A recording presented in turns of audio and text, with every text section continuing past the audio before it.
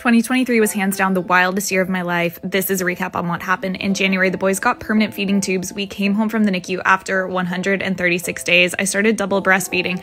February, Brooks came off of oxygen. It was such a celebration, and we started to get into our new routine. Moved into a new house in March. Boys had daily doctor's appointments, surgeries, check ins, bridge clinic. They finally got to meet all of our family members. In April, I was diagnosed with stage 3C colorectal cancer. The boys had their first hernia surgery.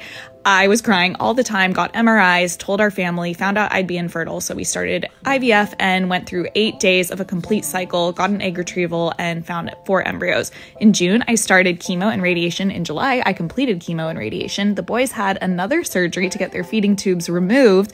And in July, we went on our first family vacation. In August, we traveled to Europe to surprise my sister for her wedding. She lives in England and she was completely shocked. September was the boy's first birthday, and I had to get a port inserted in my body for chemotherapy infusion, which I started and it was really rough. It has been really rough and definitely the hardest thing I've ever done. November was just a blur of chemo, beach days, spending time with family, and the boys getting their final surgery of the year, which was their eye surgery, laser eye surgery. It was really tough, but we made it through.